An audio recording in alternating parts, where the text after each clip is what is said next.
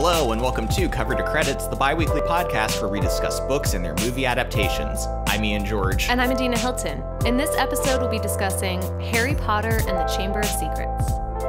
Harry Potter and the Chamber of Secrets was written by J.K. Rowling and was published in the UK in 1998 and in the US in 1999. And the film adaptation, which which was directed by Chris Columbus, came out in 2002.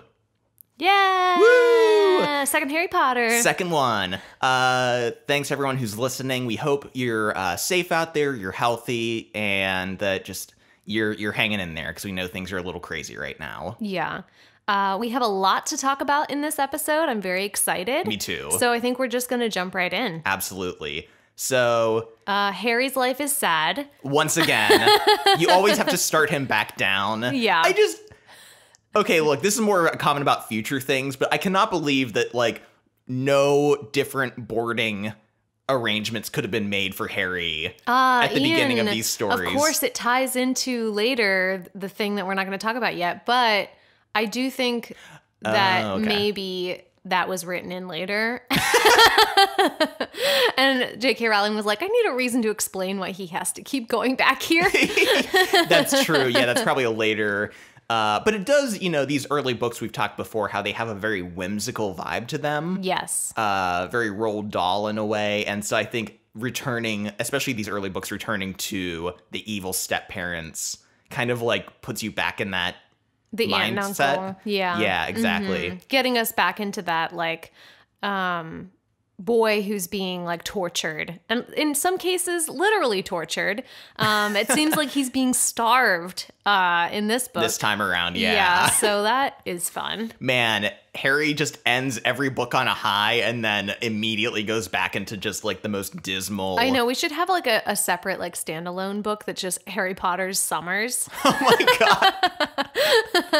An entire non-magical abusive it's just summer. him like sweeping the floor and like raking out the garden and like doing Dudley just like playing like jokes on him and shit. yeah and him like losing weight because he's not eating Oh man. great. I want that I want that side story. I know. Absolutely.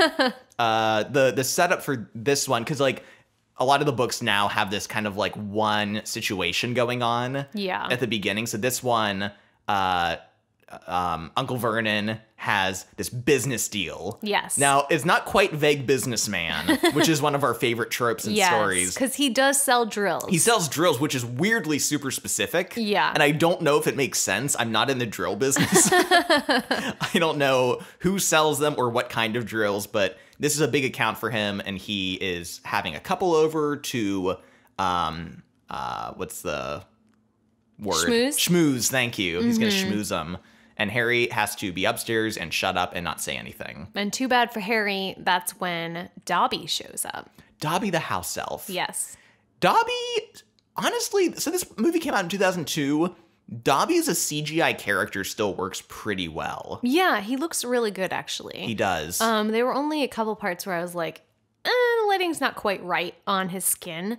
yeah, or sometimes when he's interacting with something, or like Yeah. the performance of someone looking at him is like a little off. Mm-hmm. But overall, they do a thing too where they did this with um in the first movie with the troll. Yeah. Where a lot of times when they do interact with things, I think they're actually moving those real objects. Yeah. Like when he's hitting his head on the dresser, like they're It seemed very physical. Yeah, they're actually hitting the dresser in real life and Mm-hmm. then adding. So that still gives him a presence in the scenes, which I think is very effective. It helps, like, you know, reinforce that. Yeah, I agree. And uh, Dobby is there to stop Harry Potter from going back to Hogwarts by any means necessary. Yes. Um, and Dobby's such a interesting figure because he is so annoying. Like Yeah. so annoying. But he's also like so pitiful. I know. you can't help feeling bad for him. And Harry's in the same boat that we are, that he's like, oh my God, I cannot stand you. But then he's like, oh, I feel bad though. Like, I know. It's this pendulum that kind of just goes back and forth. yeah.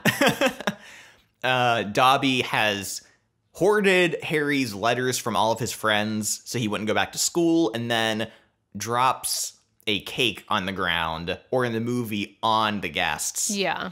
uh, so that for some reason his aunt and uncle hate him so much. That they want him to be around all the time. Yeah, so they can torture him. Yeah. Which is just like, what are you people doing? yeah, I don't understand. Yeah, so Harry, because of this, gets punished even more than he was already being punished. The bars are on the outside of his window, there's locks on his door. They're like putting food through like a doggy door, apparently. yeah, it's like really I know. dark. It's it's upsetting. Uh luckily for Harry though, he has friends that care about him. And Ron, George, and Fred are there to rescue him soon. So they show up in their flying car, Mm-hmm. uh, rip the bars off the window, and make a daring escape. I enjoyed the fact that the movie included Uncle Vernon falling headfirst out the window. Yes, we talked last episode about um, the actor who plays Vernon and how great of a comedic actor he is. I Mm-hmm. oh think. yeah, Um, but he's so funny in the limited scenes that he has. Like, I just love the detail where he hears Harry leaving and he has to like unlock all the locks uh, on Harry's door because there's like at least five locks. I know. He's like he's so good at being so serious, but the joke's always on him. Yeah. And yeah, he just really embraces that uh classical kind of goofy Physical villain. comedy, Yeah, yeah. for sure. And you know, he I don't think he's he's definitely not in all the movies. No. Uh some of them skip the beginning, him being at home, but for every movie he's in, he really brings it. He definitely does. Uh, we don't see a lot of Dudley in this one at all. No, Dudley plays a smaller role uh, Mm-hmm. this time around, and we do have a um, a confirmation. So last episode we talked about how the mo- the movie kind of places Harry's birthday literally right before he goes to Hogwarts. Yeah. and we were curious if that was continued because in the book it's more not quite the middle of the summer, but not yeah. quite right before. So, and this movie does reconfirm that because as they're escaping with the car, Ron tells him, by the way, happy birthday, Harry. Yeah. And we know that this is like a day or two before they go to school. Mm-hmm. So it makes sense. Yeah, so it all still lines up. So they're they're keeping their consistency. Harry's birthday watch. Harry's birthday watch. They take Harry to the Burrow, which is the Weasley home, which we are seeing for the first time. There's so many things where I'm reading these books again or I'm watching the movies again, and I have to remind myself that, like, this is the first time that we're seeing this. Yeah. So it's like noteworthy. Yeah, these books do such a good job of like adding um scenes or elements that fit organically in the mystery or the story, but are also world building a lot. And I think like the Burrow is a good example of that, and Mr. Weasley and the Ministry of Magic. Definitely. And I want to talk about how magical the Burrow feels. Yeah, it's so great. in so many ways in both the book and the movie. I think the movie really does a lot to capture that feeling there, and I love this scene in the movie, but especially in the book as well. I mean, Harry gets there, and it's just this huge ramshackle house that's like not put in any order. He talks about there being like four chimneys like on the top of it and everything's like sticking out which way. But it's such a homey, warm and welcoming and happy place. yeah. And not only is this the first magical home that Harry is seeing, it's also the first like loving home that he's seeing. Yeah, absolutely. Like the Weasleys are a close knit family. Yeah. I keep having to remind myself how many Weasleys there are. There I keep forgetting how many brothers there are. Yeah. There are seven children. Yeah. Right? Yeah, I think. Yeah. Uh, but but I do love just like how expansive the family is and how caring they all all are for each other. Yeah. Especially, especially Mrs. Weasley and how she really takes Harry under her wing. I know. And like cares for him. Uh, it's very sweet, and you love seeing that, especially them just leaving uh, the Dursley's house. Yeah, and you can tell that like Harry does feel at home there. hmm And Ron is embarrassed by it a little bit. Yeah, I loved that too. But Harry's like, it's amazing. Like, why wouldn't I think it's amazing? It's like a million times better than what I have. yeah. So I think that that that contrast is really nice. That Ron might feel a little ashamed because it might not be like super fancy, but to to Harry, it's like magic. Well, and something else I like too with the set design is so many things like the um uh dishes being scrubbed on their own, Yeah. the needles knitting the sweater on their own. So much of it is like obviously like prop work Yeah. Mm-hmm. and physical. And I was thinking about this and I'm like, I think this is partly what made the appeal of the what is it uh harry potter wizarding world Oh, yeah, in, at um, Universal. at universal because when you look at these older movies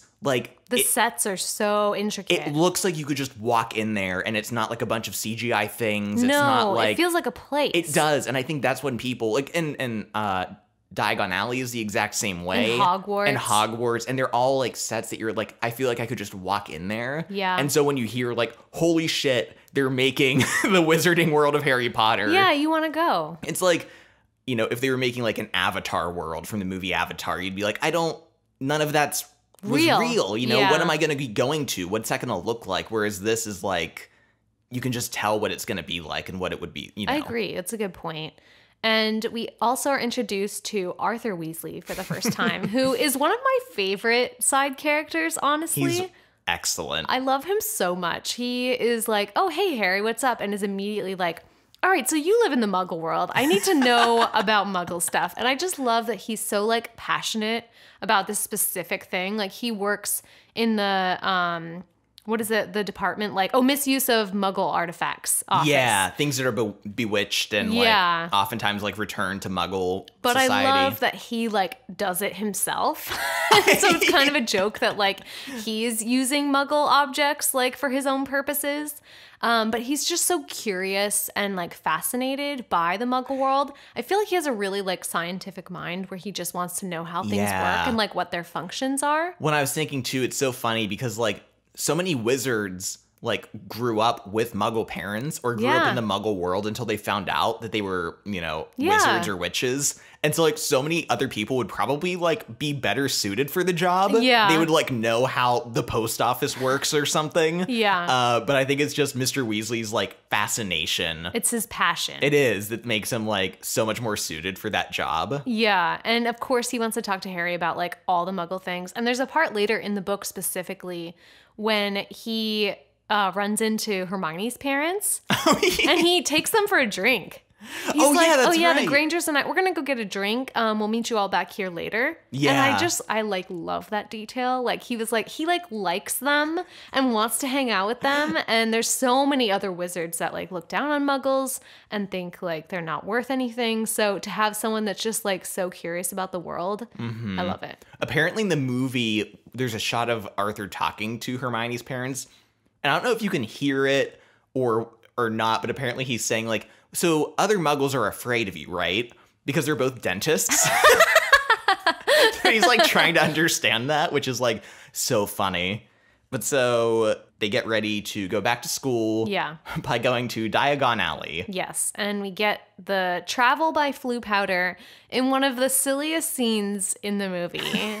and Ian and I like we've joked about this so much in the past and it's probably not that funny, but we've made it like so funny to ourselves. Like the whole scene when Harry you know, does the Floo powder and doesn't like says Diagon Alley like in a stupid way. In the book, it's like, oh, he threw down the powder, it got in his mouth, and he kind of like stuttered when he said it. Yeah, but in the movie, he's just like we were saying it's like a person or like a kid who is in a play and he has like one line.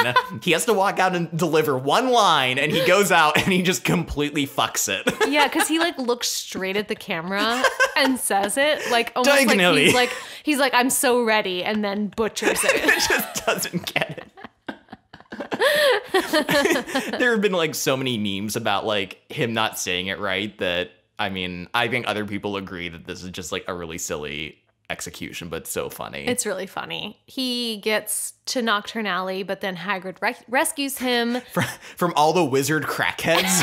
It does seem kind of like weird. it's super shady. uh, yeah, but then he reunites with uh, everyone else, which, by the way, in the movie, he runs into the Weasleys back at the bookshop Yeah. who were waiting in line for books. Like, they were not looking for Harry at all. They were like, oh, Harry, we're Oh, good. We were wondering You you were." literally could have been anywhere in the world. I'm glad you were like, you know. We like- just wanted to buy our books before we went to look for you. we don't know. You could have been in Egypt. Who knows?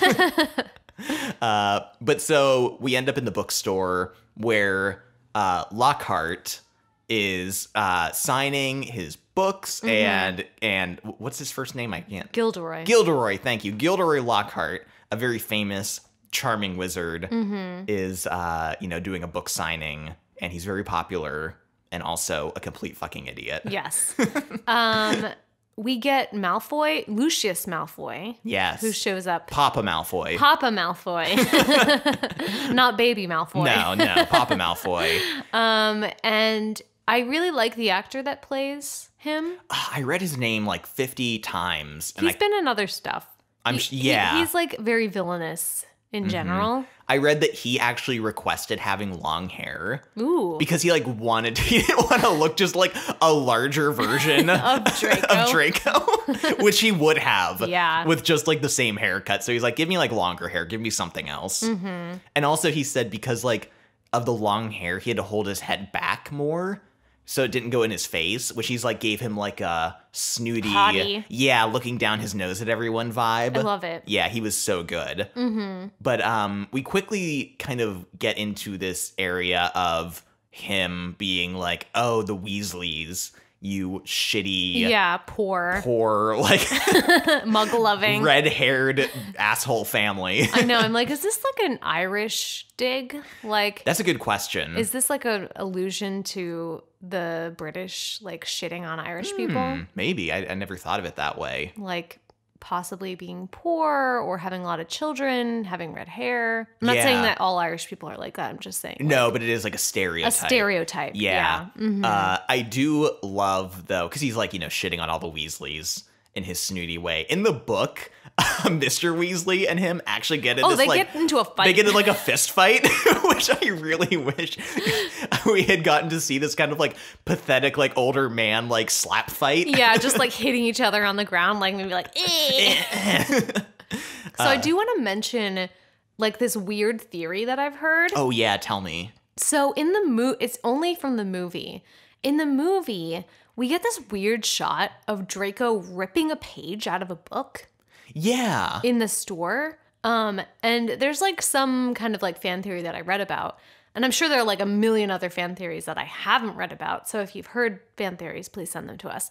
But the one that I did read about was that Draco rips a page about the basilisk. oh my god. and that, I that's the page that Hermione has later. as soon as you started talking about I was like, I think I've heard that too. Yeah. And that's very interesting. and it's i feel like i don't know exactly if i like buy into that or not um because he does act like he doesn't know anything later on Yeah, and like when people are being petrified, he's like boasting about oh he's it. like really happy about yeah, it like yeah if he really wanted to like prevent anything, yeah like it'd be one thing to not say anything, but like slip a note. Mm-hmm. It's another thing to be like, I'm glad you're all gonna die. yeah but it is weird like why is he ripping a page out of a book yeah, I don't know if they're just like because Malfoy. There's another joke later where he like finds this like little gift wrapped on a desk, and he's like, "Is this yours?" And then he just like pockets it. yeah Maybe it's just him taking more things.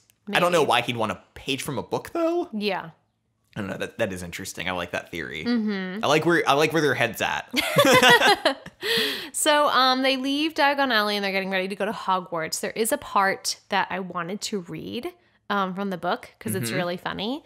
Um, when they are trying to, here I have my book here. They are trying to. Adina kept reaching back without looking, trying to like I find was her trying book. to just grab it and I couldn't. so I love this part in the book so much. Just a little paragraph. So this is when they're trying to leave the burrow to get to the train station. Mr. Weasley started up the engine and they trundled out of the yard, Harry turning back for a last look at the house. He barely had time to wonder when he'd see it again when they were back. George had forgotten his box of filibuster fireworks. Five minutes after that, they skidded to a halt in the yard so Fred could run in for his broomstick.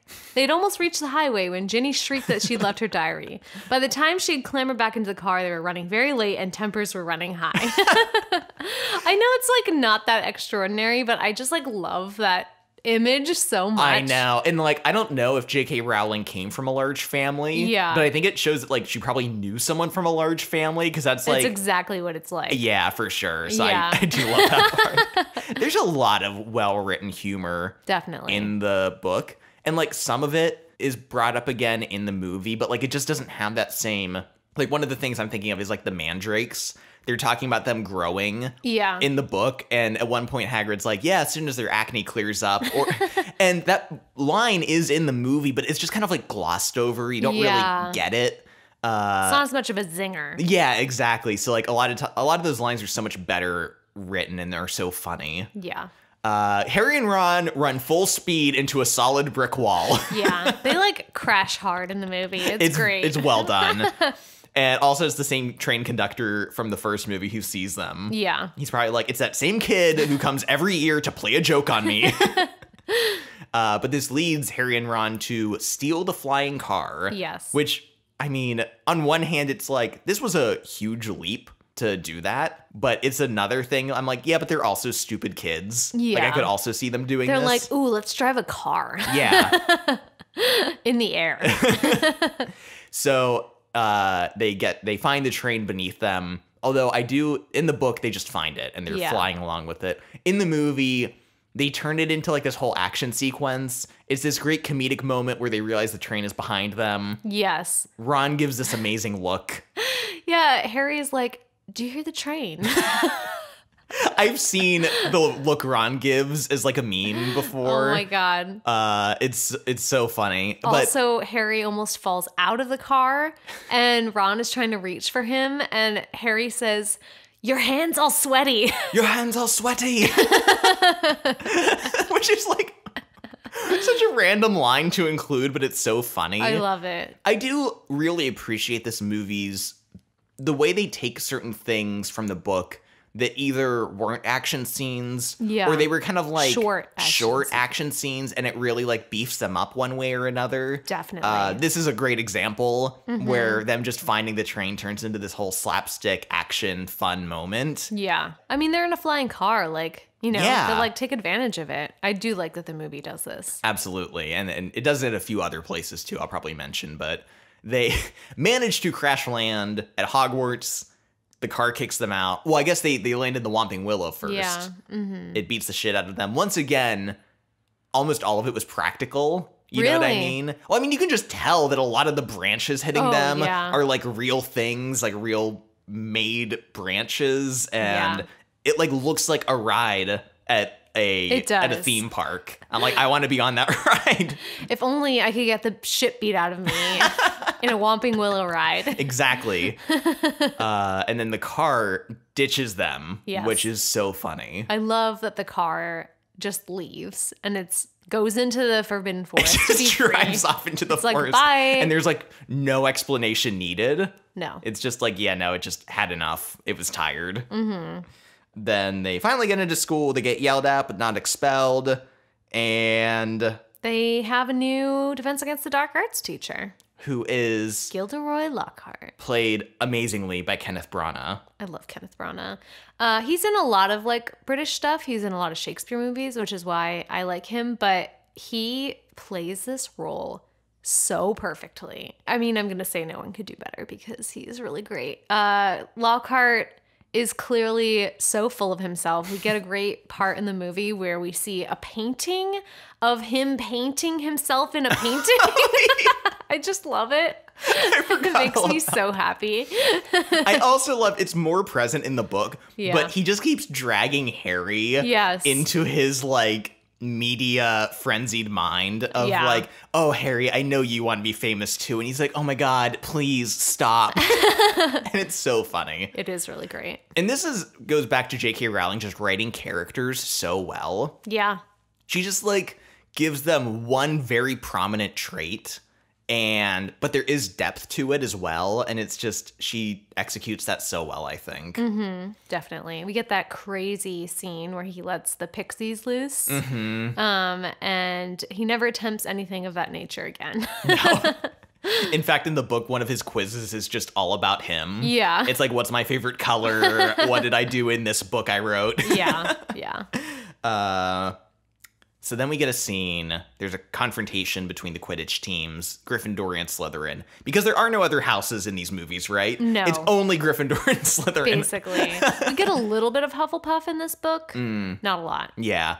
they get in a fight over who has the pitch. Also, this is where we find out Malfoy is the seeker of the Slytherin team. Mm-hmm. And during this argument, Hermione totally fucking She owns she him. dunks on Malfoy so hard in front of everyone. Yeah, she's like, at least we didn't have to buy our way onto the team, and we're all like, oh, Oh, that was amazing, honestly. it was great, and oh my god, uh, Emma Watson when she delivers this line, Yeah. gives so many head bobs She's like shaking her hair everywhere. Every word is just punctuated by a head jerk. yeah, Um, but this is where Malfoy uh, really shows his lack of class and calls her a mudblood. hmm And this really touches on the prominent theme of this book, I think, which is Yeah. um, I don't know what we should call it. It's essentially like blood status. blood status, yeah, heritage. It's a thinly veiled metaphor for racism. and bigotry. clearly.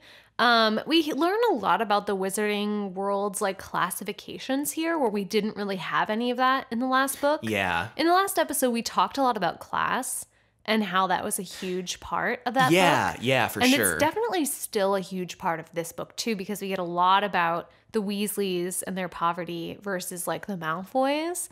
But this book really, I think, focuses more on that like blood status. I think it's done. I think J.K. Rowling writes this way so well too, because on one hand, the characters' attitudes towards things seem so like um obviously flawed. Yeah. Like the the Malfoys being like, mm, you have to be pure blooded, mm-hmm. but the Weasleys are pure blooded. But they're like, yeah, but you also are poor. Yeah, you yeah. know what I mean? It's clear that they just think they're better than everyone. Exactly. And but it's like still so fucking applicable to real the real world in terms of like race and class status and how people And who's allowed to be like part of the like who's okay and who isn't. You know what I mean? Yeah, and I just want to say that it's so sad that J.K. Rowling can write on these topics so well in children's books, but her personal views on other topics um, are very flawed and it's frustrating. Yeah, and I think the later books will deal more with other topics. Yeah. But in this one, it's definitely about like that either racism or, um, you know, just being prejudiced in general. Yeah, and and Dobby too is uh, another key of that or factor because Yeah. Dobby is a creature that's literally enslaved. Yeah, he's literally a slave. and you know has to be beholden to this family and it's kind of viewed as like an old kind of outdated thing a bit Yeah. like only the old rich families like the malfoys have like enslaved elves but also Mm-hmm. people are like well i don't know what are you gonna do like write a law free them you know Yeah. it's like kind of shows the um uh how the world still kind of stands back and lets things happen Yeah, and so we figure out like there's this pure blood classification, and then there's also this half blood classification where you have like a muggle or muggle born um, parent um, who might be a witch or might not be, and then a pure blood other parent, and then there's also the mudblood classification or muggle born classification where you're a witch or wizard born into a muggle family like Hermione. And then we also find out about squibs, which Yeah. are non magical folks born into pureblood families. And to me, this was a direct corollary to inbreeding mm and how, like, if you inbreed too much, you get birth defects. Interesting And how, like, I think J.K. Rowling is showing that, like, it's actually bad to only interbreed with purebloods. Huh. That you need, like, the muggle blood to infuse the magical, like, lineage, basically. It's funny you say that because uh, we're not quite there yet. But when talking later about like the um, the heir of Slytherin, you know, Slytherin was a guy. Uh, Salazar Slytherin was like, oh, Yeah. only pure blood, blah blah blah. And then I was like, well, shouldn't the heir of Slytherin be like some inbred idiot who like Yeah. wouldn't even like you know wouldn't that be the lineage and like Mm-hmm. the direction that that would go naturally? So maybe J- yeah, maybe J.K. Rowling is addressing that with squibs. I, had never so. really thought of that. Mm-hmm. So maybe I was gonna say maybe Filch is the heir of Slytherin. with no magical ability. no. Also, I couldn't help but wonder: is it mean to make Filch like the caretaker of the I castle? know. I felt bad. because like wizards can literally just like enchant a broom and sweep something up, but they're like, well, maybe we should like hire this man who can't do anything. who's like essentially handicapped in the wizarding world Yeah. and have him do things that we could do with like the flick of a wrist Mm-hmm. because like you know it'll be like a job opportunity Yeah, or maybe it was like he needed a job. Maybe i mean i don't know it just all seems like I know it is weird. i almost feel like that should have been like looked into more maybe they do in other books and i don't remember Yeah. but just like are there not job opportunities for squibs in the wizarding world Yeah. where where is that line I have a lot of questions about jobs in the wizarding world, but we'll probably get to that in later books. that's very valid I, I yeah Uh, I want this to lead into a great discussion about how Ron is the standout performance in this second movie. um, Ron is so angry at Malfoy for calling Hermione a mudblood that he takes out his broken ass wand and tries to curse Malfoy, and of course it backfires on him. Yeah. And he ends up uh, throwing up slugs. And my I just want to say this may be the funniest thing in all the Harry Potter movies.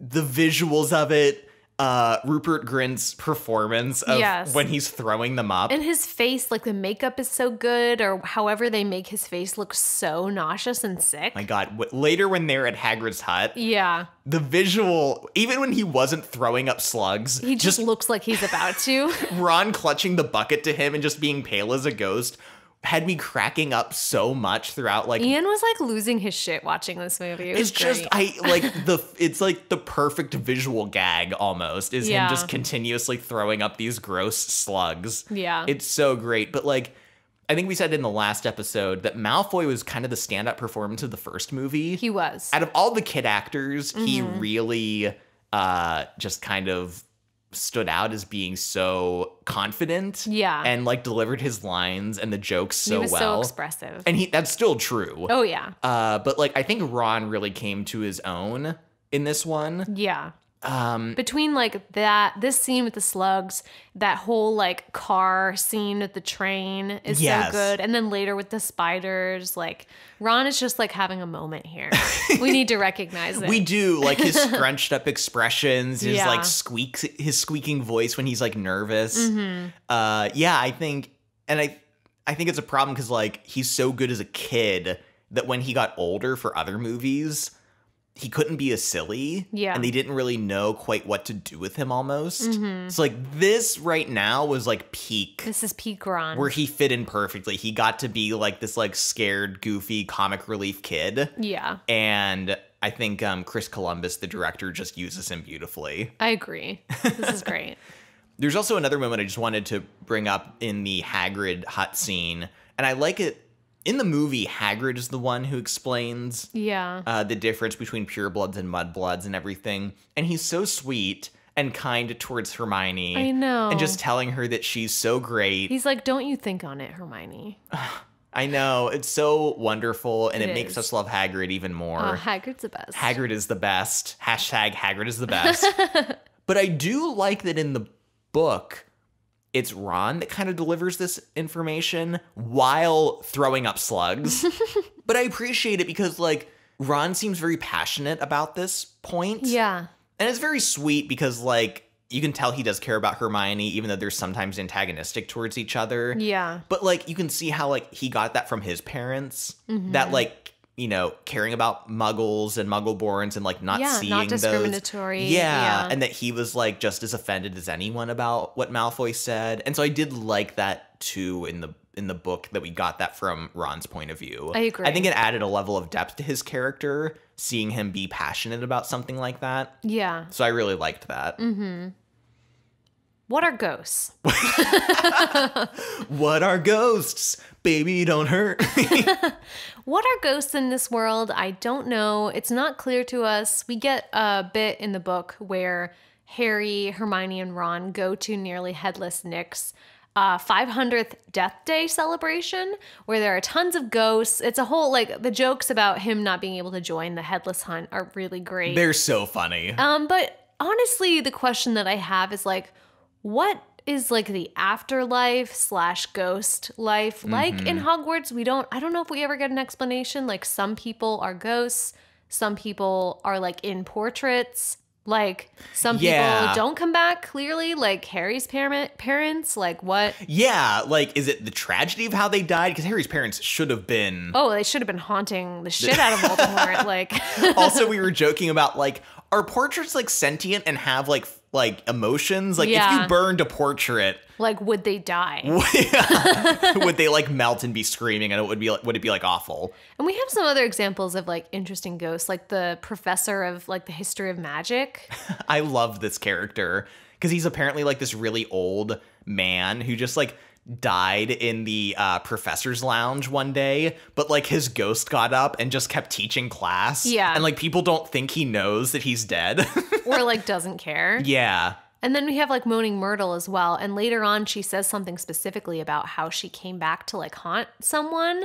So I don't know. I don't think we have answers here. I just want to put it out there. I, I agree, and I'm not sure J.K. Rowling has answers either. This is one of those things that like fits really nicely in these like early books. Yeah. Where like I don't need explanations for things.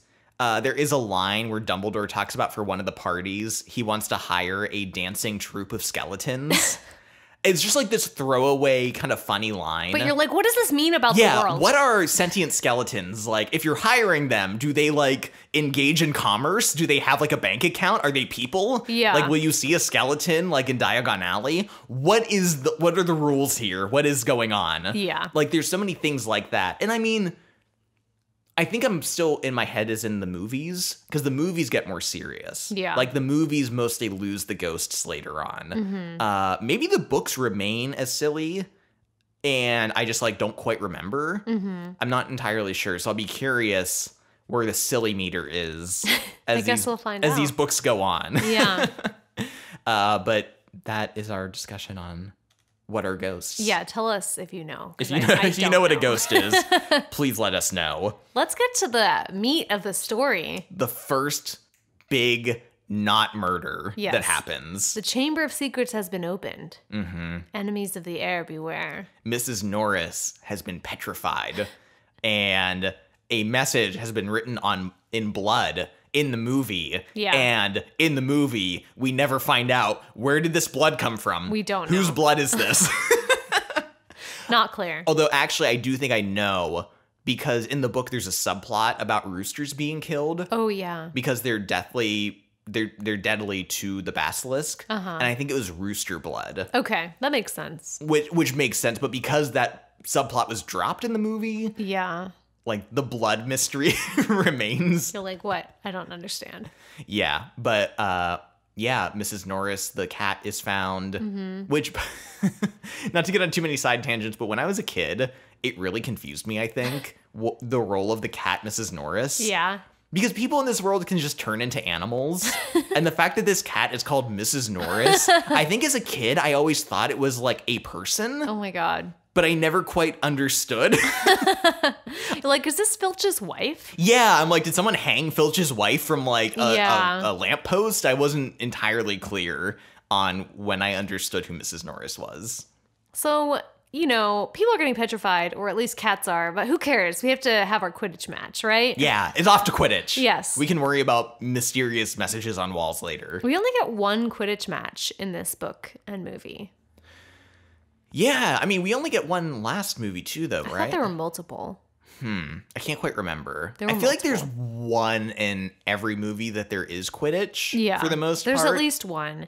Um, I have some questions about this. I know we talked about Quidditch last time, but I have further questions. questions persist about Quidditch. Because so this is the whole time where Harry is trying to catch the snitch and the bludger is like after him. Mm-hmm. And in the movie, Hagrid is clearly like, oh, that's a rogue bludger. Like someone needs to like stop that. But in the book, this bludger is just like chasing him and trying to like murder him the entire game. And at one point they like stop for a timeout and Harry's like, I don't know what to do. Like it keeps trying to kill me. And everyone's like, well, oh well. and like the you know Quidditch person, the referee, I guess, Madam Hooch. Madam Hooch is like, "Are you ready to like start playing?" And I'm like, "Is no one who is refing this game?" yeah. Like who is refing this game? Who is handing out the yellow cards, the red cards, the flags, anything? Like Yeah. I don't understand. It- absolutely, because like In the first movie, Harry's broom gets bewitched. Yeah, and, he, no like, one gives a shit. No, like some people in the audience are like, "I'll try to help." Yeah. Um, but like, yeah, there's no um accountability. Madam Hooch is not doing her job. No, there need to be at least like three or four refs flying around to like give people penalties. You know what I mean? And there also needs to be someone that can like enchant the field so that certain activities are not allowed to happen like Yeah. murder like murder should not be allowed to happen like harry gets his arm broken and they just keep playing Yeah. like Oh, as oh, soon as someone gets an injury of that kind, it should trigger some kind of alarm and play stops so they can get the person out and then get like the alternate, which everyone should have an alternate as well. true. They don't have alternates. They don't have alternate. I'm just saying, Ian. This is very upsetting for me. I'm like, who is in charge? I think it's just it it makes it so obvious considering the last movie or book there was a crazy wild thing involving Harry on I the know. Quidditch pitch. And here we are again. like all of Harry's villains and enemies should just know like I mean Quidditch is fair game. yeah, I you can, can do, do, anything. whatever I want to Harry during Quidditch, which now that I think about it happens in the next book too. I'm good. Who is in charge? Maybe this is just the game of Quidditch. Maybe it's like in the rules that it's like, hey, you can do anything you want during these games. No one's gonna stop Survival you. of the fittest? Yeah, I don't know. I Anyway, do. that's the end of my rant. I do like in this Quidditch match though, they had to be a little more inventive since the first one was just pure Quidditch. Yeah. This one, we kind of get this like Star Wars um Going through the trenches yeah, the, in the the trench run Yeah. uh with Malfoy and Harry with the rogue bludger following them. it was good. I liked it. It was. It was all very well done. It was very exciting. Uh, Harry's arm gets broken as he catches the snitch. Once again, Harry only knows how to catch a snitch if it's like this diving Hail Mary, like Yeah. last ditch effort. Uh, but he catches it and wins it for everyone. Unfortunately, Lockhart arrives first at the scene of his injury and ends up deboning his arm. There's a lot of gross, like body horror humor Yeah. in this movie, but I'm like really here for it. I think it like all works really well. they there's this really like tiny great part in the movie where they're in the infirmary and Draco is like moaning on the bed. and Madam Humphrey, the head nurse, is like, "Oh, get out of here, Draco! Like you're fine." And he's like, "Uh." I do, because he would be the type I know. to like as soon as he's actually injured would just like be this like big Baby. baby, about it. Mm-hmm. We do get Dobby coming back here though and being like, "Oh yeah, I did that because I was just trying to help you. I wanted to like maim you, not like kill you." yeah, we some of the answers or miss some of the, we do get some answers to mysteries in the story. More mysteries persist though, yeah. and especially when Colin Creevey. Creevey uh, becomes the first human victim Mm-hmm. to be petrified by the snake. Yeah. Or I mean, um, whatever's happening. The unknown monster. the unknown mystery monster that is happening. I was here. telling Ian, it's really great that you all know the plot to the Harry Potter books, so we don't have to explain it because it is a very like in-depth mystery book. yeah, And we talked about this in the last episode how the first one was also a mystery. Like they're trying to figure out, you know, what the Sorcerer's Stone is, and in this one they're trying to figure out the Chamber of Secrets. And it's kind of cool in this one that the adults, like the professors, also don't really know. Yeah, I really do. I think this one works. So first of all, like I think the first story has to focus so much on uh like creating the world, Establishing establishing characters. It's also the shortest book. So like the mystery is like much smaller kind of. It's Yeah. kind of there. This is like hardcore murder mystery. Oh, yeah. There's a lot of clues. Whodunit. There's a lot of red herrings. Yeah. There's a lot of um random things kind of brought up and Little tiny details that end up being important later. So it is cool to like read through it and to notice all those little details. Yeah, this one feels like much more um steeped in like this mystery of what's happening. Why is Yeah. Harry hearing voices? Um what are the spiders? What's the Chamber of Secrets? What what are all these things? Yeah. And I think it's pretty effective in that way. Um, going along with the theme of who is in charge, we have the dueling club, Yes. which meets only one time and then is disbanded forever.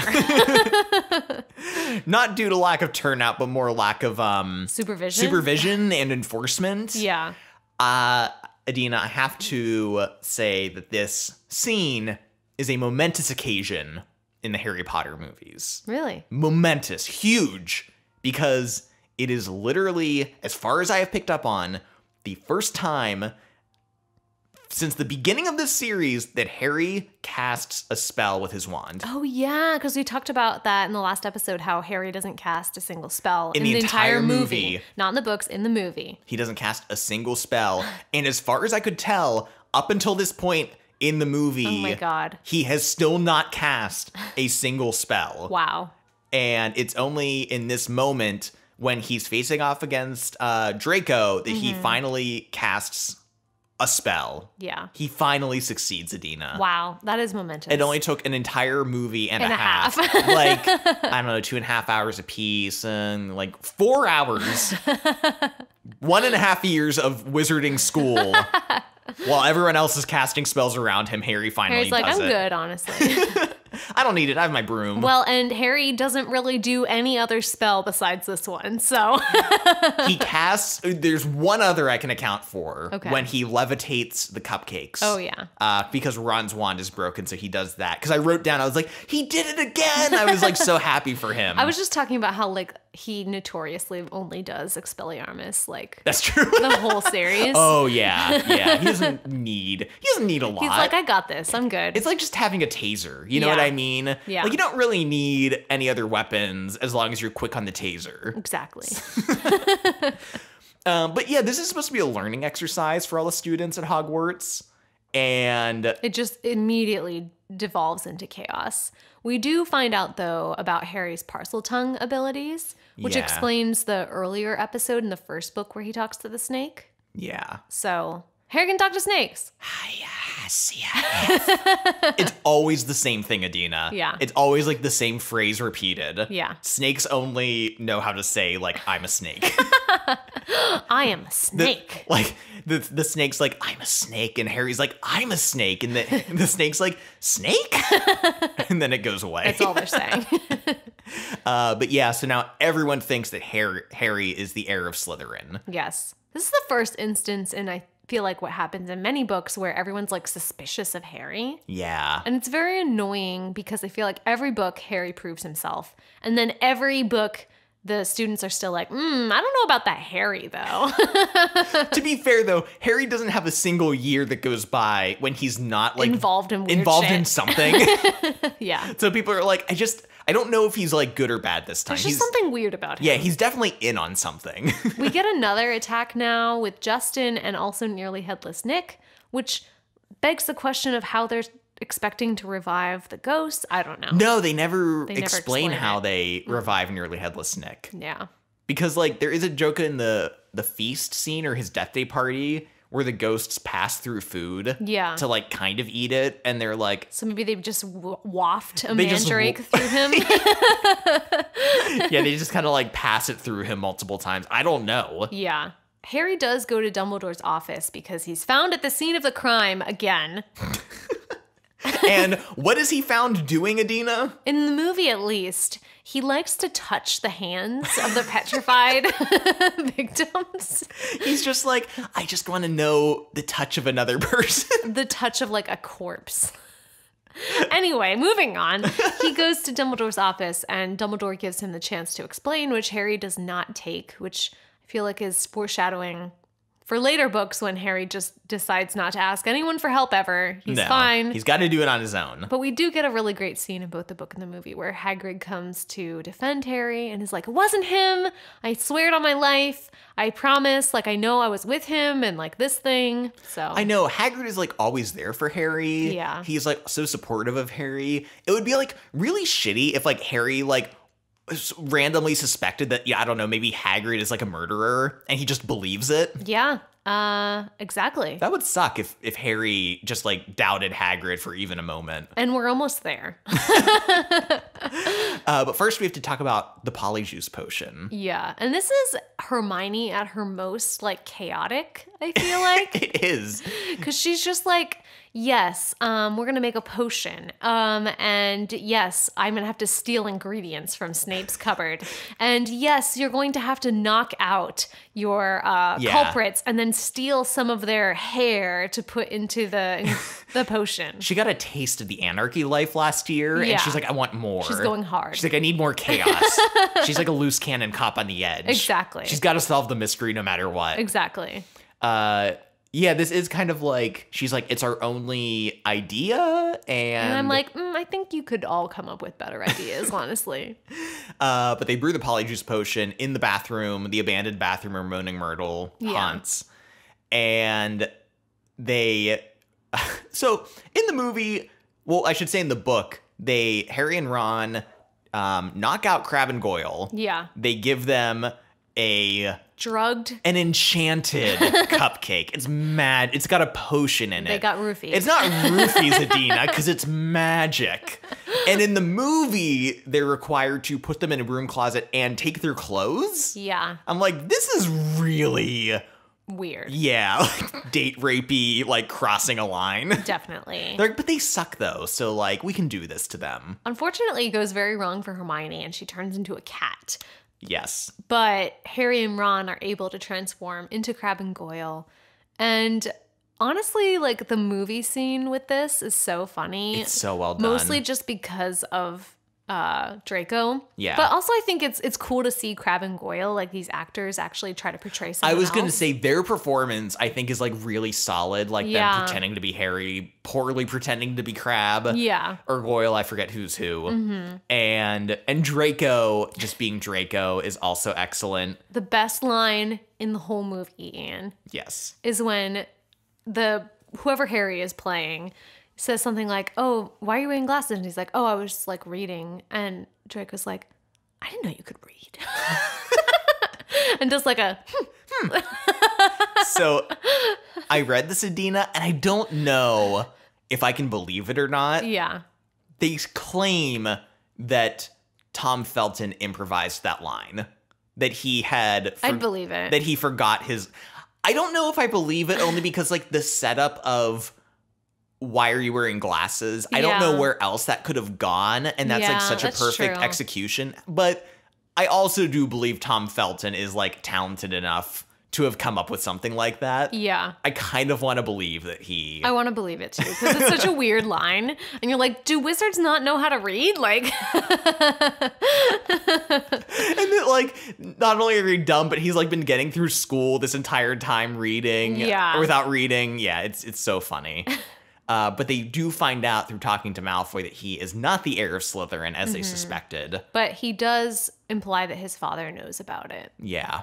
Around this time, Harry discovers a uh, blank diary that was discarded through very odd means and is like, yeah, okay. This seems normal. I should trust it.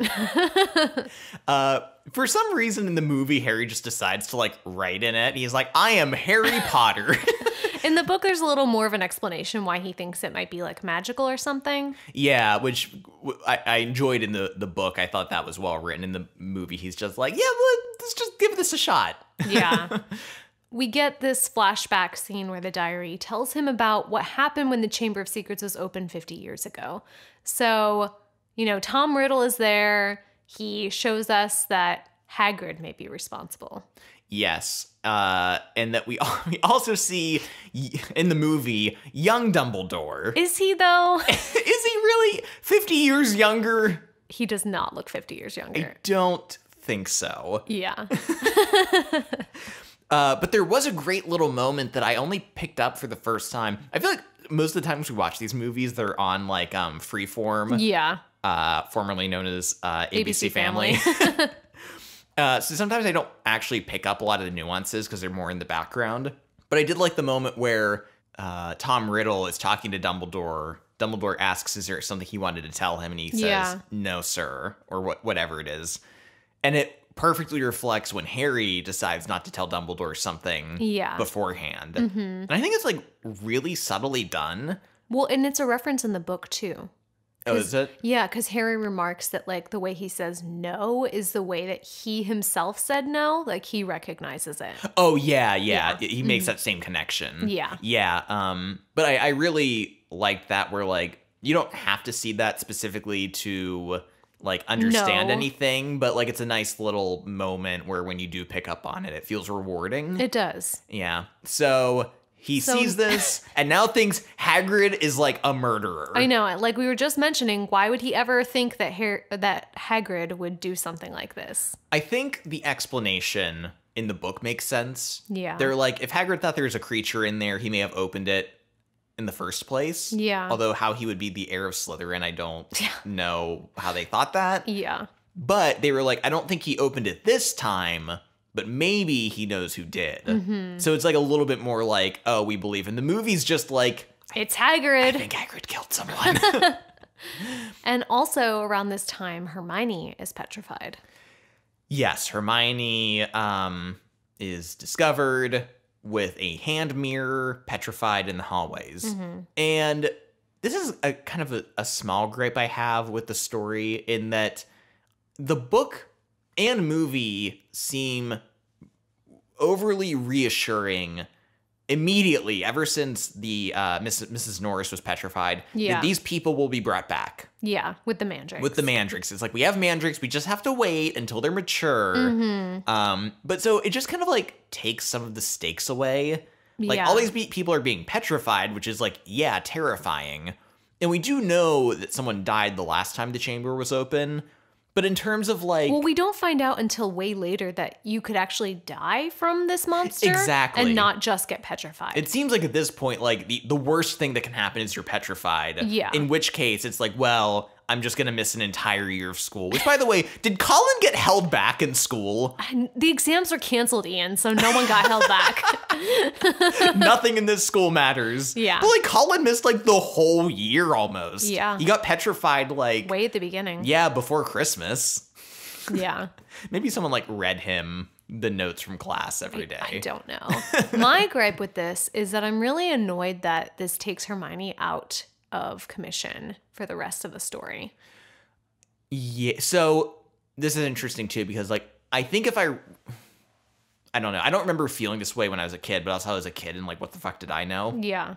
But um this book is definitely like Harry and Ron Yeah. in the final act. mm-hmm. And I I know that the next book and movie are Harry and Hermione Yeah. in the final. So like for me like they each get I guess so. I, I was just annoyed because Hermione is clearly the most valuable member of the team. yeah, Like, she to certainly be brings honest- the most to the table. And they're like, oh, too bad Hermione's out of commission. And then she ends up helping them anyway and like solving it for them anyway. And so I'm like, the least you could do is have her get some fucking credit and be there for it. Yeah, I I mean they do are like we couldn't have done it without you like quite Yeah. literally like they do give her credit I'd say but I agree like it is sad to see her like out of commission in this final like Yeah. confrontation but for me it's at least like made up for in the next story when Hermione like plays a much more active role in the finale and That's true. and uh, Ron is like taking a back seat Mm-hmm. but I could imagine if I was reading this for the first time I would probably be like what the hell like come on Yeah. Uh, but yeah, so Hermione gets um gets uh Petrified. Petrified. and Then they're like, oh, we should confront Hagrid. And that's when this whole scene happens um, when Hagrid is taken to Azkaban. Dumbledore is suspended as headmaster. It's all kinds of chaos. I think in terms of world building, this scene hurts a little bit. Really? Well, it's weird because this is our first introduction to Cornelius Fudge, right? The Yes. uh, Minister of Magic. Minister of Magic. And like he's like the fucking president of like wizards in the UK, right? Yeah. Like he's like the most prominent figure politically. Mm-hmm. And so for his introduction to be showing up at Hagrid's hut To arrest to him. arrest him and be like, uh, you'd think they'd find someone like, you know, uh, more suitable for this. They wouldn't just send fucking wizard president. the president of wizards here to like, you know, take a groundskeeper to prison. That's true. so it feels like weirdly like like like making his role feel a lot less significant I agree. That's a good point. it, it's kind of weird in that way to introduce him. Mm-hmm. Like I think he should have been in like I and I don't know, maybe I'm like there isn't anyone above him, right? no. Okay, I didn't think so. so yeah, introducing him in this way feels like very strange. Yeah, that's a good point. I Mm-hmm. agree with you. I'm glad you agree with It me. is weird. Uh, also, I do love it's it's funny that like both Dumbledore and Hagrid, as they're walking out of the hut, Yeah. like no Harry's there, So and they're like talking to the air. they give like vague um if warnings. anyone wants to find out some stuff, and Cornelius Fudge is like, "Is there like a gas leak in here? Like, what the fuck is everyone doing?" uh, but this leads Harry and Ron to follow the spiders. they're on a quest into the Forbidden Forest. And let me just say that this trek into the Forbidden Forest makes so much more sense than last book's uh, trek into the Forbidden Forest when they were on detention. Oh my god, I know. I listened to our old episode and was reminded of how absurd that entire thing is. But this makes more sense. They're trying to find answers. They're going rogue. Hagrid's gone. They don't have anyone to protect. Dumbledore's gone. Yeah, So they're yeah. really kind of going rogue. They have no one else to really help them. Um, of course, this is like a very terrifying scene in the movie, and I still found it very frightening. As someone who does not like spiders, it was, oh, it was It's so gross. Oh my god. I read that Rupert Grint actually does genuinely have arachnophobia, and he has like not been able to like watch this scene. Oh my god. The the part where the spider is actually like latched onto him in the car. Oh, Yeah, I read he like wasn't acting at all in that my scene. Like he was so genuinely like terrifying. We find out info from Aragog, which is cool. Um, and I love that in the book there's this detail about how Hagrid actually finds Aragog a wife. oh yeah. He's like, Oh, I don't want Aragog to be lonely. I'll get him a spider wife, and then they can fucking have like a shit ton of like huge spider. They can just infest the woods Yeah. with like dog-sized and they spiders. clearly eat people. This is fine. Yeah. this is like Hagrid like kind of being dumb and not thinking. Like Hagrid like basically Yeah. sends Harry and Ron to their deaths. I know. but I do like in the book that Ron says like that's Hagrid's ultimate flaw Yeah. is that he um doesn't see monsters as being monsters Or even being dangerous. exactly that he like sees the best in them and it's Yeah. like his greatest um Weakness. attribute and weakness is Mm-hmm. like this like kind of um trustingness that he has. Yeah. So I did like that line. It kind of did you're like, you know what, that's true. That is like just a flaw of Hagrid in general. Yeah, you're like Hagrid is not being the best in this moment, but I still want to believe the best of him. I still appreciate it. yes. I also want to say that like this is another moment where the movie kind of improves on the book slightly. Mm-hmm. For some reason in the book I don't understand why. They come across the car first Yeah. and then get taken by the spiders, and then the car comes to save them. Yeah. When it's much more impactful in the movie for the when, car to just show up. Yeah, like you had forgotten about it, like Mm-hmm. it wasn't, you know, on your mind at all, and then suddenly just shows up to save them, and, And it it's was like so cool. the car. Yeah. Um, and then it's a great chase scene with the spiders in the car. Once again, the movie heightening one of those scenes really well. Ugh. Also, can I just say, I want a side book. Uh, what was the car doing all year? I know. Is the car living its best life in the forest? Does it have a car wife? you know, yeah. Like, what's it doing? Is it friends with the centaurs? Yeah. Like, I really just want this car. Also, I'm curious because I don't remember. I really don't remember a lot about later books, yeah. even though I like technically read them more recently. But like, I'm like, did the, does the car come back? I can't remember. I kind of really hope it does. I don't remember it coming back, but I could be wrong. Because I think that'd be so cool in like book six, they're in the woods or something, and suddenly the car returns and it's even more shitty. Yeah. Um, but yeah, the car drops them off back at school and then just drives back into the woods, which is just excellent. it's perfect. Uh, so now they know Hagrid is innocent. He did not open the Chamber of Secrets. He just loves him some spiders. Yes. And this is where we get a clue from Hermione, who is, even though she's out of commission, she's still driving the plot of a story because she knows more than everyone, where they find the piece of paper that she has about the basilisk. Because Harry just keeps touching the hands of petrified people. yeah. He's just like, let me touch your hand. yeah. Uh, so yeah, they find out it's a basilisk and it's going through the pipes. And Harry also realizes that the girl who died last year in a bathroom is Moaning Myrtle. And also around this time, Ginny Weasley Is uh, kidnapped. is kidnapped by the uh, whoever has opened the Chamber of Secrets. Yeah. So now we're gearing up for the final act. Mm-hmm. Harry and Ron ignoring any common any like logic of telling a teacher who isn't Lockhart, Yeah. uh, They're like, let's get Lockhart to help us. yeah, sure, why not? Like he's as good as any, right? Uh, this is where we discover Lockhart's secret that he is a fraud.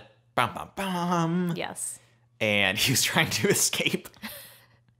Which, by the way, when the teachers were like, "Now's your chance, Lockhart," I love that part. I do too. They're just like, Because they're clearly like just messing with him. Just like even in this him. time of crisis, they have time to fuck with Lockhart. Because it brings them joy, man. it does. They just like they need like to vent a little bit in this, you know, very difficult time. Yeah. So they might as well fuck with Lockhart a bit. yeah. Uh, and so Harry and Ron discover him trying to leave, so they kidnap him Yes. and take him to the Chamber of Secrets, which is in the girls' bathroom. Yes. Which and is great. Salazar Slytherin clearly was masterminding that whole plot to put it in a girl's bathroom. I don't know. What, what's the? I don't know. Is he just like, I'm a boy, so they'll never suspect the girls' bathroom? I don't know. and I mean, it kind of, it is like really ingenious, kind of, that like such a weird, random. Yeah. Kind of, you know, it's not like the Great Hall. It's not like even a hallway. It's like the girls' one bathroom that has a Mm-hmm. like a shitty faucet. You know, Yeah. um, was kind of genius, and especially in the movie, the set design Yeah. of the circular sinks is super And cool. it like coming open. Yeah, I Mm-hmm. loved that. They go down a slimy pipe Mm-hmm. and end up in this tunnel area and they're moving through it when Lockhart tries to disarm Ron, grabs his wand, and memory charm them only for Ron's wand to strike again and backfire the spell onto Lockhart. Um, completely wiping Lockhart's memories, and this is just such a funny. Yeah. I don't know. There's so many great setups and payoffs in these books and in the movies, like Ron's wand being broken all year and Yeah. it backfiring him on him, and then that being the wand that Lockhart takes. Like, there's just so many funny, great payoffs. Setups and payoffs. Yeah, things that just seem like an ongoing joke, but then actually like factor into the plot. Definitely. really well done. Um, but Harry gets blocked off from them and has to trek on alone Mm-hmm. when he gets to the the actual door to the chamber of snakes. The door of snakes. behind another door of snakes. Behind another door of snakes. where there's more. um, for something called the Chamber of Secrets. There's not a lot in there. Surprise! The secret is snakes. Yeah. I would expect there to be like other things in there, like maybe treasure It's almost like the or dark art books or something. It's almost like the room of Re- requirements. Yeah. From the fifth book.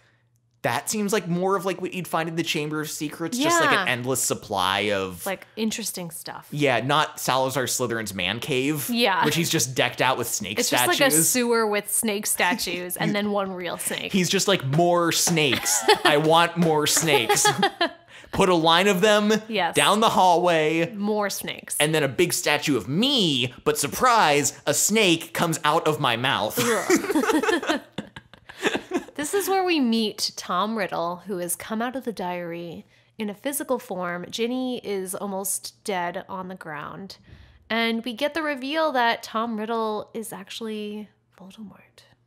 yeah. Because he writes his name in the air and then rearranges the letters Yeah. to spell out his entire name. How, how long do you think he worked on that anagram? So I was trying in my head to think of like what would be like an earlier Yeah. version of this name that like wasn't quite as good. Because I mean, it's funny how you have to say "I am" yeah. Lord Voldemort for it to Not be like a Lord true Voldemort. anagram. Yeah. And I pictured him like in school telling his like other friends, he's like, "Hey guys, listen, I came up with this really cool name, uh, where I'm gonna be called Lord Voldemort, except for it to be an anagram, you have to say." It's a me, Lord Voldemort. no, not working. I should. Be okay, I'll, I'll I'll rearrange. I'll keep it. workshopping it. I love it. Which, by the way, I worked really hard I, to try to make that an actual anagram, and it is, except for the letter S. Nice. The S isn't in. So it a me. It to me, Lord Volmord, uh, is the actual anagram. I love it. it's a me. you have to say it with an Italian accent. But it a me. it to me. but it is really like silly when you actually think about it. It is. But like that's how he came up with his name. It is very silly. It seems like something a teenager would do. when you're a kid and you read that shit, you're like, what? I know. Um, but then later you're like, uh, uh, all right, this is some emo kid. I know. he lets loose the snake though. And this becomes another one of these movie action scenes that really like expands on what's in the book. Um, because the book scene is very short.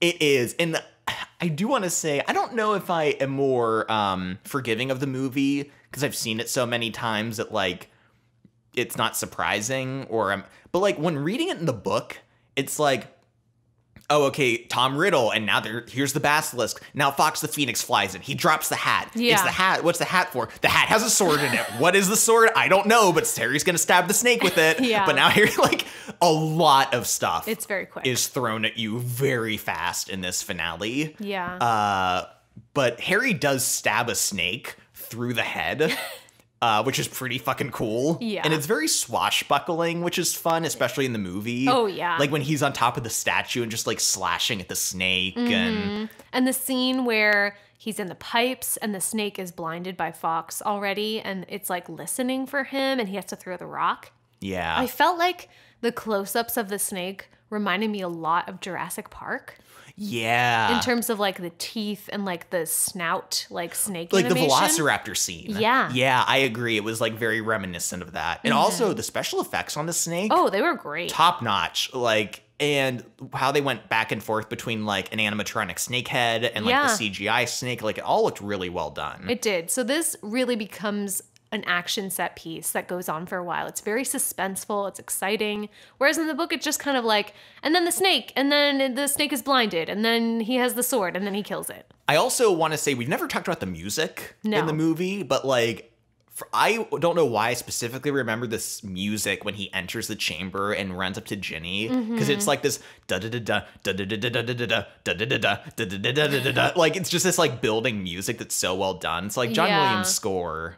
like it gets keeps getting like tweaked as the movies go to be more bleak. Yeah. They're like, okay, now it's all minor chords and now it's played on a broken piano and now it's just like Yeah, um, but like the the foundation of it is so good. definitely. Can I also say that I didn't think about this much until I read the book, but my God, Fawkes the Phoenix does fucking everything Oh, yeah. in this finale. I mean, Harry kills the snake, though. True, but Fawkes the Phoenix first of all flies in and gives Harry the sword. Yeah. And then pecks out the eyes of the basilisk. Yes. And then after Harry is stabbed with the fang, uh, cries on him and Yeah. cures him. Yeah. And then in the book, there's even another moment where Fawkes grabs the diary And brings it to bring- him so like, he can stab it. Jesus Christ. Okay, here's the diary. There's the fang. Yeah, this is what you need to do. okay and then he has to fly them all out of That's the true. like Fawkes like literally almost does everything He does. like not to diminish what harry does Because he's like 12 and he stabs a snake through the mouth. yeah no he, he still does a lot A and huge ass snake. he does and he still you know it's still really cool and i still enjoy it but in the book that extra moment where Fawkes brings him the diary I know. like boy this this bird really kind of does everything doesn't it yeah, I know. Um, but yeah, so he kills the snake, he stabs the diary. Saves Ginny. Tom Riddle is gone. Ginny. Uh, you do feel so bad for Ginny. I know. Though, because like She has such a such a small role Mm-hmm. in this story for her to be such an integral part of it. I don't know how I feel about that. I I do feel like in the book you get even though she's not active in it in the story a lot, like you do really kind of get a sense of like her being this kind of girl who's like longing for Harry and you feel bad for her in that way. But she Also- doesn't like have any lines really. No, it's she's more just kind of a plot device in this story. Yeah. And also, let's be honest, she just gets like catfished by Lord Voldemort like via the diary. I know, and I feel so bad. I do too, because like in the book, he's like especially mean. He's like, oh, I had to listen to like this teenage girl blab about how much she likes you. Yeah. Like, stop. I know. stop. No one asked you to be a diary. stop slamming on her when she's like gonna die in a minute. yeah. Um, so yeah, I'll be curious. Obviously, Ginny Ginny's role in this books continues to be more prominent as it goes, and I'll be curious like how that's handled. Mm-hmm. Uh, but I do just feel like super bad for her in this story. I do too. We get a bit of a wrap up in Dumbledore's office where Harry finally tells everybody what happened and Um, in the book, there's a lot of other people there. McGonagall, the Weasleys are there because they're Mm-hmm. worried about Ginny, um, etc. Also, Harry's just drenched in blood in the book. Oh my god. also in the movie, he just straight up is holding the Gryffindor sword, the bloody Gryffindor sword, by like the blade. He's gonna get some weird magical snake disease. I'm like, for- isn't this supposed to be like an extra sharp sword? Like he's just like, yeah, I'm gonna hold it by the blade. it's like Harry, you just killed an enormous monster with that. Don't you even know how to hold it, right? yeah. Um, but this is where Harry talks to Dumbledore and he's like, "Hey, I'm really worried because like I'm super like Voldemort in a lot of ways." yeah. And and I think Dumbledore does a lot to be like, "No, you chose Gryffindor. That's why you're in Gryffindor." Mm-hmm. We kind of get little hints about future things that like Voldemort's powers or some of them went into Harry. Yeah. Um, I think it all does this really well, where you're not left feeling like you don't have enough info. Yeah. But it does lay the groundwork. Yeah, Yeah. for a lot of future stuff. Yeah. So I think it's all really done well. We get Malfoy coming in Oh yes. with Dobby and the uh, huge implication that Malfoy was the one that planted the diary in Ginny's um, possession and uh, that he wanted to do this to possibly like bring down the Weasley family specifically. Well, yeah, that was interesting. Uh, Like an interesting addition in Yeah. the book to hear that. I'm like, uh, oh, huh. Which, by the way, the movie, I love it. They do such a great job of showing you that he does put the book Yeah. Mm-hmm. in Ginny's cauldron because we see the shot of him taking one book out, looking at it, and when he putting two in, and it's just like so obvious yet so subtle like when you're not looking for it like it's Yeah. not apparent at all but i really appreciate them laying that like showing you putting it right in front of your face so when you go back you're like no shit Definitely. we get the a big feast because everyone has been unpetrified Yeah. and dumbledore calls off all final exams and is this where we get into our recurring segment we've established dumbledore's dick moves Yes. because I mean they're in a school and Dumbledore's just like no exams. Yeah, it's fine. I mean, there were students that were like not present for like the entire term because they were petrified. That's fair, but to drag, is this like there no child left behind? Like we're gonna drag everyone else back Yeah, it is weird. because there's this whole speech in the book that McGonagall gives because everyone's like we still have final exams coming up and Yeah. she's like Dumbledore specifically wanted the school to be run as if he were still here, like you guys are here for an education, like we're gonna stay open. She gives this whole explanation as to why it's important to still take the exams, and then Dumbledore comes back. He's like, exams are canceled, school's out, bitches. Boy, McGonagall's a real prude, right? uh, yeah, and just this continuing idea that like Dumbledore is like secretly still in control of everything. One, two, he like implies that like Fawkes wouldn't have come to like help Harry if Harry hadn't have like said nice things about Dumbledore in the Chamber of Secrets first. Yeah, And you're does. like, would he have come to help him if he hadn't said that Dumbledore was the greatest wizard of all time? I just, I'm wondering. No, abs. Yeah, it, it's really funny that that was like the criteria Yeah. that saved Harry's life. Oh, and Dobby is freed, of course. Yes, uh, I thought this was really well played out in the uh, movie. How Harry hid the sock in the book. Yeah, in the book, he hides the book in the sock.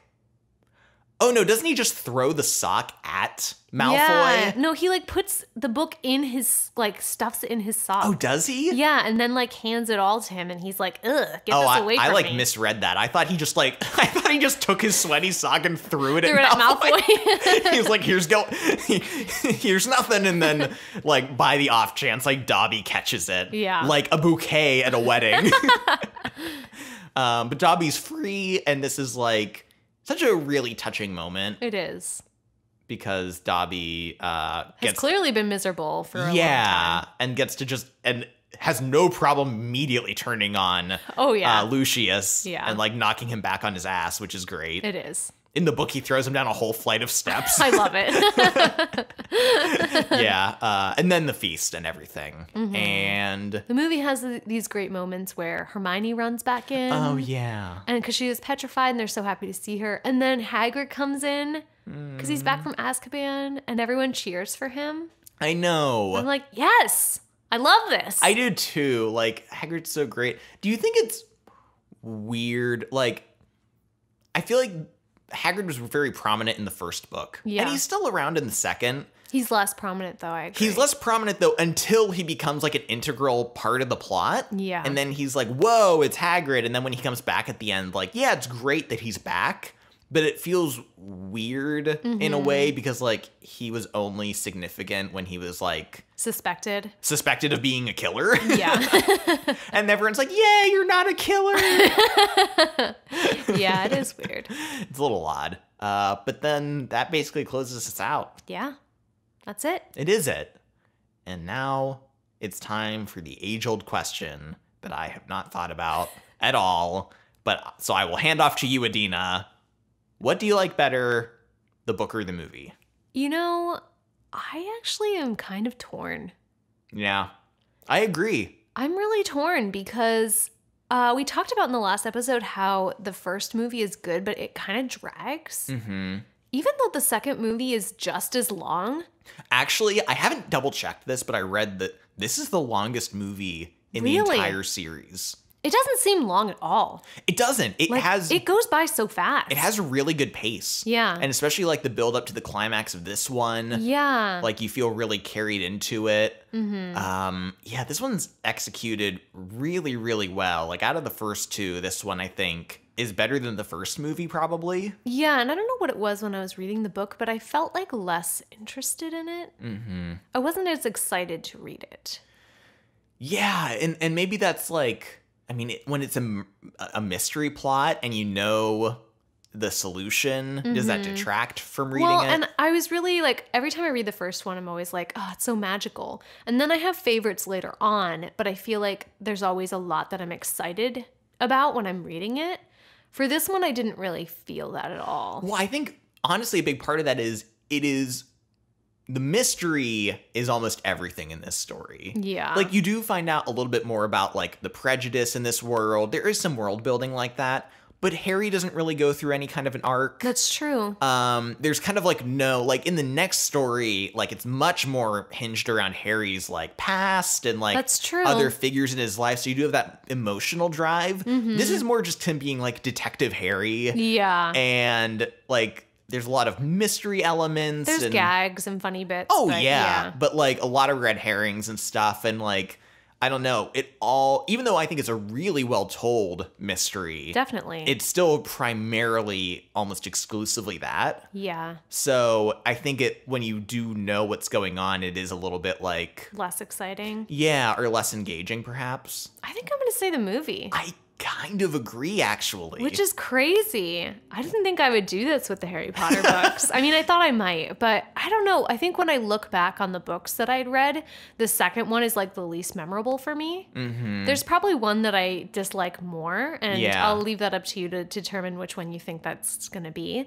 But I think this one is the least memorable and most easily forgettable for me. And I really did love watching the movie. It was very enjoyable. So I'm going to have to say movie. Yeah, I mean, in this movie, the humor is so spot on. Um, there's just, I don't know, the action's really well done. The sets are great. Like I said, the physicality of everything, the performance is top notch.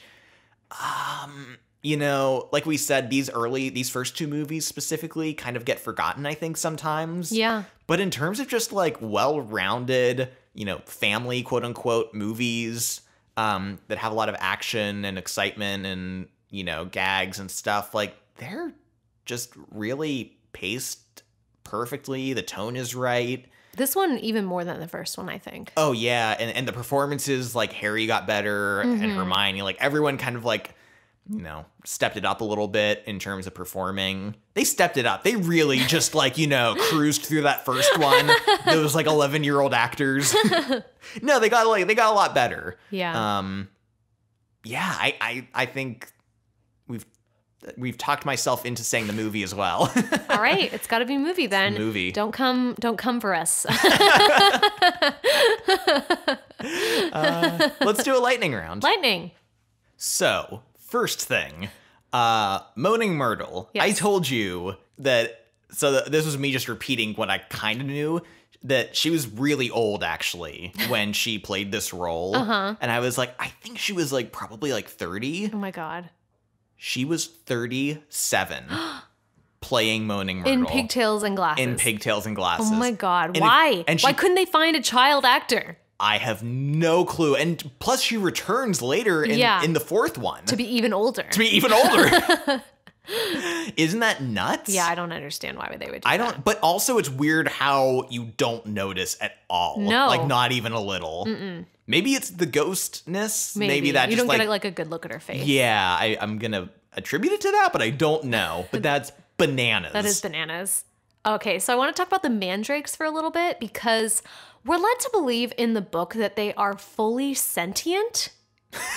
yeah. So they're born, they're like babies in the beginning. And then later they talk about them getting older and like ac- getting acne and then also throwing parties in the garden shed. And then like they're going to start like they're being all secretive and they might move into each other's pots, which like implies that they might have like romantic relationships. And I'm just like, and they're just talking about murdering them like so I know. callously. I'm like, they seem like they're real, like humans having feelings. I know. and I'm like, why? Hashtag save the mandrakes. And then I also wanted to mention the mandrakes again in the movie. There's that great scene where they're in herbology class and they're pulling up the mandrakes with their earmuffs on. And we get a great part where Neville passes out. Oh, and. Professor Sprout is like, oh, just leave him there. And then a part where Draco puts his finger in the mandrake's mouth and it like bites down on it. So funny. It's funny because uh, they have every single class with Slytherin. Yeah. And I think it's solely so that they can have More Draco, and like because we got so many good reaction shots from him Yeah. in different classes that I think they're just like we need Draco like in every classroom scene And I agree. that we can have him in. Uh, I wanted to talk about how um, Hogwarts does a terrible job of scrubbing terrible figures from its past out of its Oh my God. um, yes. history. so, first, most obvious one that's like in the movie too is that one of the four founders of Hogwarts, Salazar Slytherin, was like a uh, wizard racist. Yeah. In terms of like, I only think purebloods um, should be allowed to be taught at this school, and everyone's like, mm, dude, stop talking, and he's like, nope. Uh, and he just like held on to those beliefs, and it's like still well known, and they still have a house named for him Yeah. and like kids are put in that house and they're like hey you're in Guess the what? You're a racist. you're in the racist house Yeah. and i'm like shouldn't there be a petition to like change, Change the this name. like i couldn't help but like connect it to like uh confederate um general statues Yeah. here in the us that were like can you take that down because they were like a racist yeah, exactly. um, and also in another part, uh, they know that there's a trophy in the trophy case for Tom Riddle. Yeah. You know, Voldemort, like Wizard They Hitler. still have his trophy on display. They're like, yeah, he did this really great thing for the school once, and Yeah. so like we want to make sure we polish this trophy and make it look really nice. And Of I'm Wizard like, Hitler. We- of Wizard Hitler. and Dumbledore gives a line in the book like, "Oh, not a lot of people know that Voldemort went to this school and was named Tom Riddle." And I'm like, "Can we like up our history game here?" Yeah. Because like not telling people this shit is like really problematic. That you're like, Super fucked up. yeah, that you're like, yeah, no, we should, you know, make sure we teach kids good values here so that we don't teach another wizard Hitler. Exactly. so just like, I don't know. It was also crazy. Last for lightning round, I just want to briefly mention in the book, uh, Fred and George, when they break Harry out of the Dursleys' house, they have to pick the lock where Harry's belongings yeah. are being kept. And they're not allowed to use magic because school hasn't started yet. And Fred and George specifically say, yeah, not a lot of people like care to learn about picking lock- locks because it's a muggle skill and they like have magic. But we think it's like a really valuable skill to know. And I'm like, you know what? I love that. I do them. too. Yes, it's so smart that like they would be cunning in every possible They're way. like, in any chance, like we don't have magic, we'll be able to get ourselves out of a situation. Mm, I love it so much. and that's our lightning round. Thank you so much for listening to uh, our follow up Harry Potter episode on the Chamber of Secrets. We really love doing these ones. It's really fun. We'll definitely continue to do them. yeah. Uh, if you have any Harry Potter thoughts, opinions, uh, answers to our questions, You can email us at cover to credit pod at gmail.com. Mm-hmm. Find us on Instagram. Uh, on Twitter, we are at cover to credits. And uh, just let us know your thoughts on Harry Potter or any episodes you want to do, you think we should do in the future on any other adaptations that you Mm-hmm. enjoy. And if you'd like to support us, you can find us on Patreon. We do have a lot of really great people over there that are supporting us um, by um, contributing and being our patrons. And it's really helpful. We do have some costs associated with doing the podcast, so it does help to offset that for us. And patrons do get um, bonus episodes. We just did a bonus episode on uh, The Great Gatsby, um, and they get um, content uh, episode schedules ahead of time, and they also get first priority on um, episodes that they would like to see us do. So Yeah. So if you like the podcast and want to engage with us more, we're very um, attentive to Patreon and answering messages or anything like that. So, you know, reach out to us on there. And thanks again for listening, and we'll see you next time. see you next time. Bye. Bye.